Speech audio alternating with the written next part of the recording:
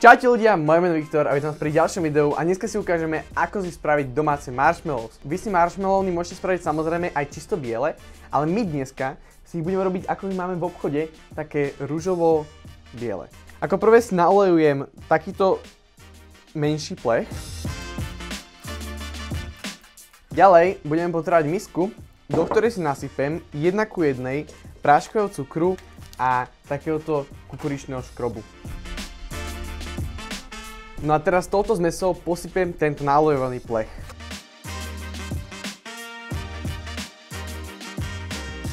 Ďalej si vezmem väčšiu nádobu, ktorú si dám na váhu. Do nádoby vylejem 240 ml teplej vody a 60 g čírej želatiny a všetko takto spolu premiešam.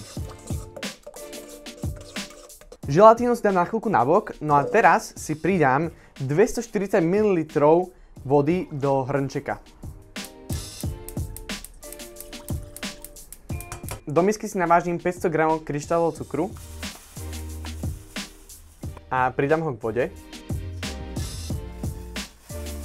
No a teraz budem cukor roztápať a budem variť sirup.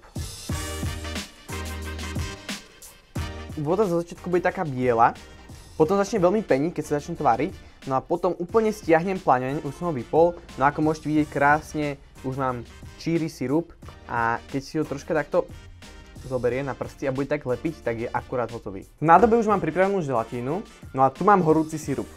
Túto želatínu začnem pomalečky mixovať. No a teraz, keď som troška rozšľahal, tak budem pomalečky prišľahávať aj tento horúci sirup.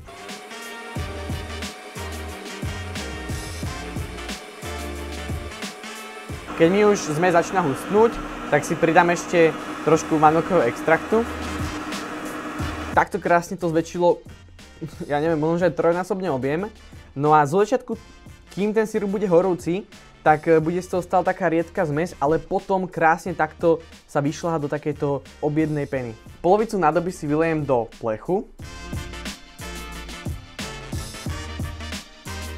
No a takto rovnomerne všade rozložím zmes. Túto druhú polovicu si zafarbím rúžovým farbivom.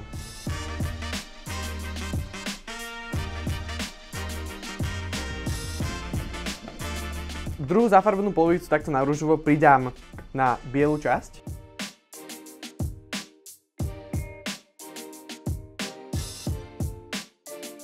No a teraz nechám 12 hodín vytuhnúť v izbovej teplote. Na druhý deň mi želatina stuhla, ako môžete vidieť, a už mám také ako marshmallow, no ale teraz to musíme nakrájať na kocky. Nožík, ktorým budem krájať, si nalejujem z každej strany. Olej si rozotriem po nožíku. A nad plechom nožík takto ešte pocukrujem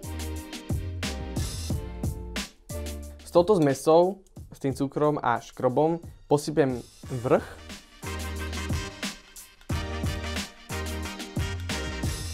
A budem sa snažiť to tento marshmallow odlepiť od boku.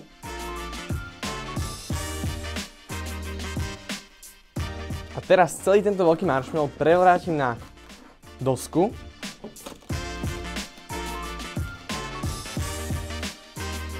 A na vrch tiež pridám škrob smiešaný s cukrom. Treba úplne všade tento prášok, aby sa marshmallowny vôbec nelepili. No a teraz už môžem začať pomaly týmto nožom krájať jednotlivé kúsky.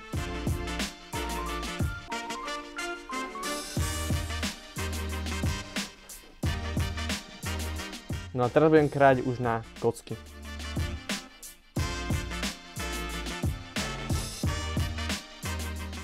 Ako môžete vidieť, krásne, úplne také jemné marshmallow sa mi spravilo ešte takto rozsvením, aby si mohli vidieť znútra. Úplná paradička. No a ak sa vám toto video páčilo, tak určite like, odber, pozrite si môj Instagram, kamaránov Instagram. Uvidíme sa na budúce a čaute.